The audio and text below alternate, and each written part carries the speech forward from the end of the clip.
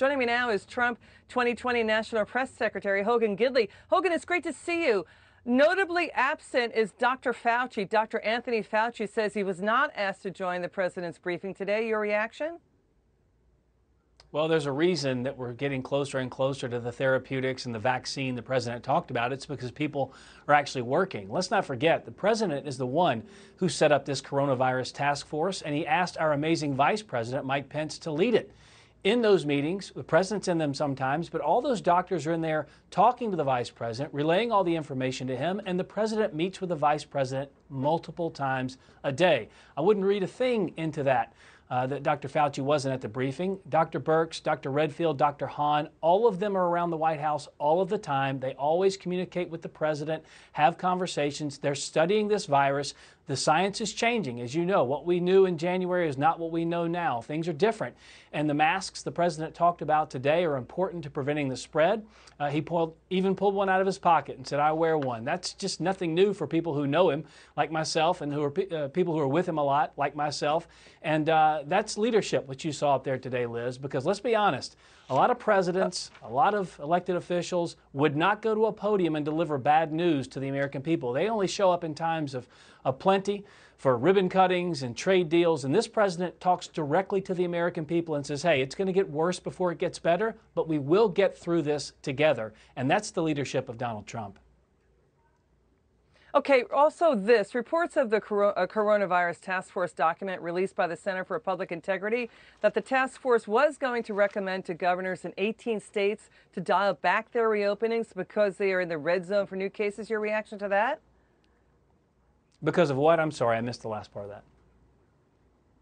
So basically, the, the, the, White House coronavirus task force was going to advise governors in 18 states to dial back on their reopening because they are in the red zone for new cases. That could involve also battleground states. Your reaction to that? The Center for Public Integrity has that report. All right. Well, we're talking about American lives here, and the president is on the front lines of this fight. He deals with his medical experts, his health experts, the scientists every single day. He makes recommendations based on what he hears. Let's not forget, it was the president who shut down travel from China and from Europe. Uh, it was it was a, a, decision that was quite frankly pilloried in the mainstream media. Joe Biden even called it uh, racist and xenophobic, and then a month later realized it probably saved lives and had to come out and say Donald Trump was right, I was wrong, and uh, it was smart to do so. So the president has made decisions uh, based on the scientific evidence he's given, and we'll see what happens as it relates to the guidelines and the guidance moving forward in those states. What about the reaction to the controversy? The president decided he did not like the CDC's guidelines for schools uh, to reopen and order the CDC to revise them, uh, and also the move by the Trump administration to basically shift the collection of hospital COVID data to HHS away from CDC. Your take on that? Well, you've seen some missteps and mistakes by the CDC. The president wants accurate data. Let's be honest. The way you end up combating viruses like these is with information. And we had no information early on because China lied to the world. It lied to the United States. The WHO was complicit in that lie, covering up for China. And the president saw that malfeasance and says, We're not going to fund the WHO. We're not going to keep spending hundreds of millions of dollars to an organization that won't be open and honest with the globe. Contrast that with Joe Biden.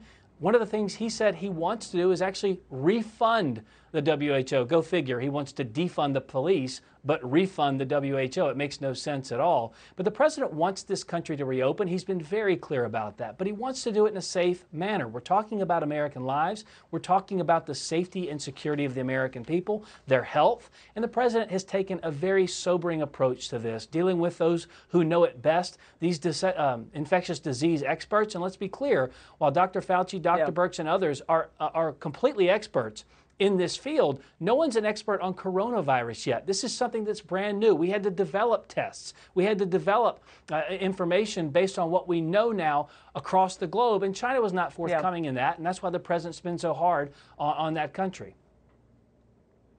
I hear you. The SARS coronavirus 1 was 2003 and it went away within months. This is coronavirus, SARS 2 coronavirus. It's a a different kind of a, a virus. Uh, to the story that the White House released a statement to reporters noting the times that Dr. Fauci, quote, has been wrong on things, including Dr. Fauci's doubts early on about asymptomatic spread, questioning whether face masks were needed. Again, that was early on in the outbreak. Uh, should you give him a pass on that? Because White, tr uh, Trump trade advisor Peter Navarro cited the same objections to Dr. Fauci, Fauci in that USA Today, uh, Today op-ed. What did you What do you think about that?